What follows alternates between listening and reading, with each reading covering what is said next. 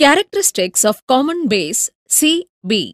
In this lesson, the learner will be able to describe common base configuration, explain characteristics of common base configuration. Previously, we have seen the construction and operation of BJT.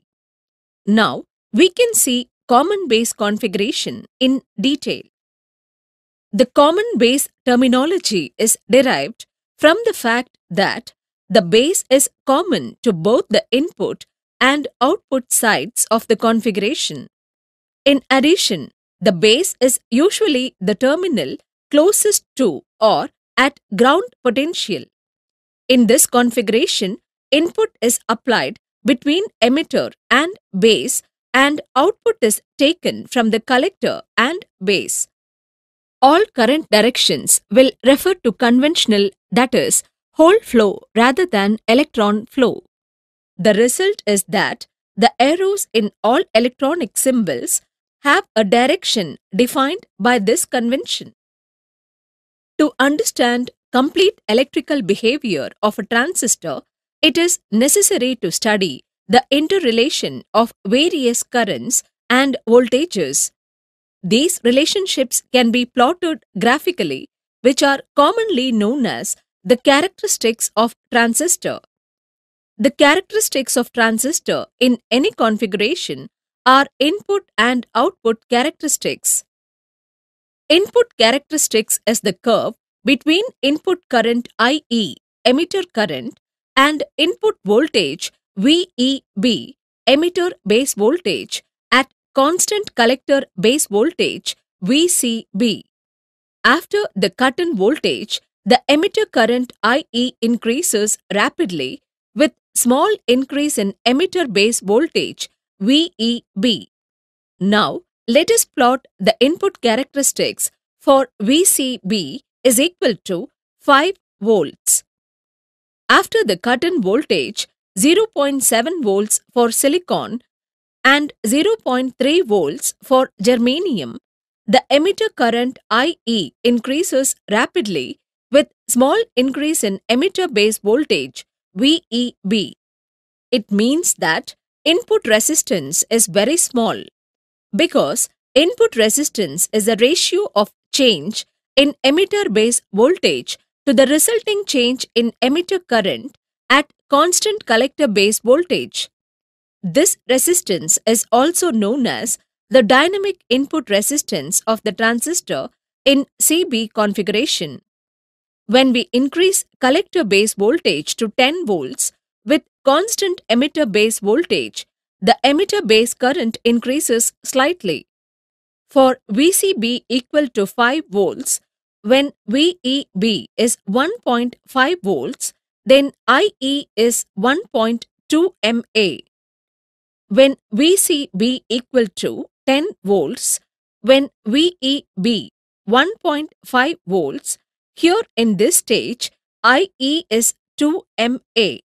Thus, it can be observed that there is slight increase in emitter current IE with increase in VCB. When reverse bias voltage VCB increases, the width of depletion region also increases which reduces the electrical base width.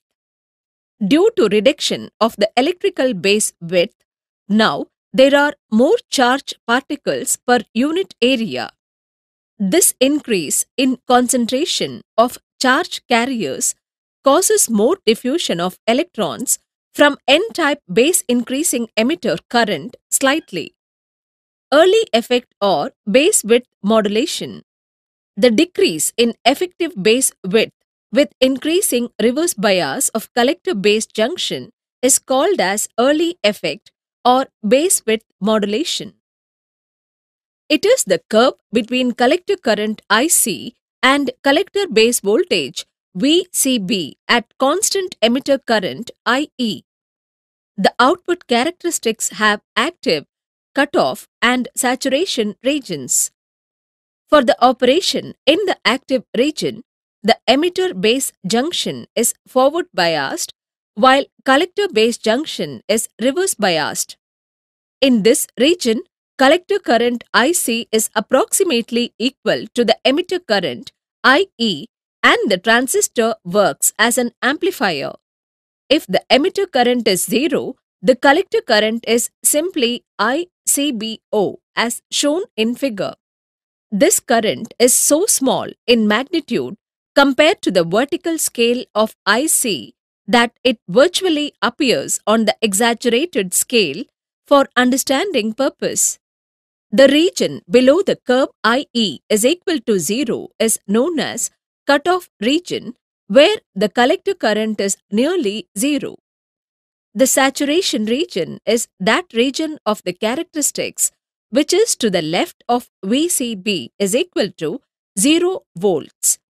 There is an exponential increase in collector current as the voltage VCB increases towards 0 volts. In the active region, the collector current is essentially almost constant and the graph is almost parallel to x-axis. The collector current IC is almost independent on collector base voltage VCB and the transistor can be set to work as constant current source. This provides very high dynamic output resistance.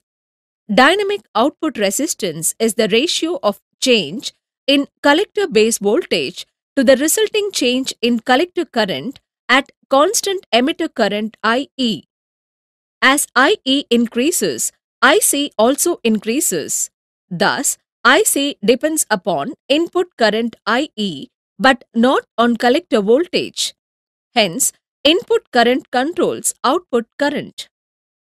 For every transistor, there is limit on the maximum value for reverse bias voltage.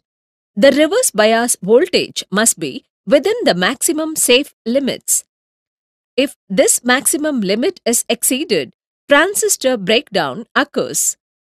The curves shown at the right side of dotted line represent the breakdown condition.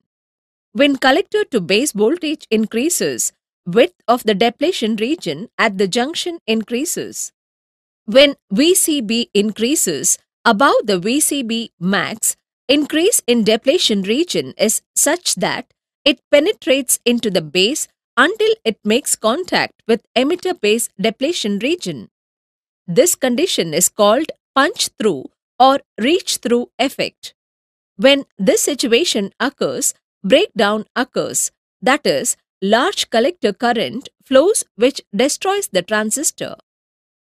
The slope of the CB characteristics gives the four transistor parameters namely input impedance, output admittance, forward current gain and reverse voltage gain.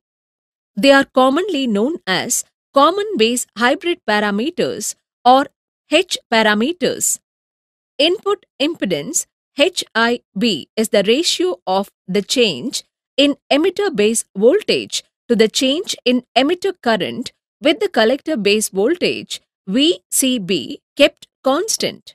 It is the slope of CB input characteristics IE versus VEB. The typical value of HIB ranges from 20 to 50 ohm.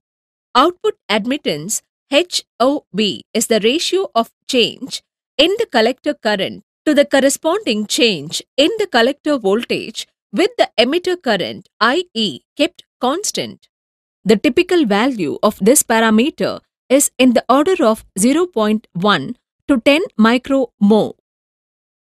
Forward current gain HFB is the ratio of change in the collector current to the corresponding change in the emitter current keeping the collector voltage VCB constant.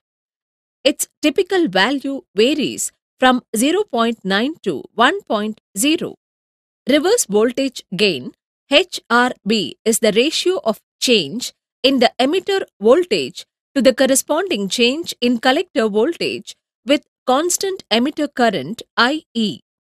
Its typical value is in the order of 10 to the power of minus 5 to 10 to the power minus 4. Summary In this topic, we have learnt common base configuration, Common base characteristics.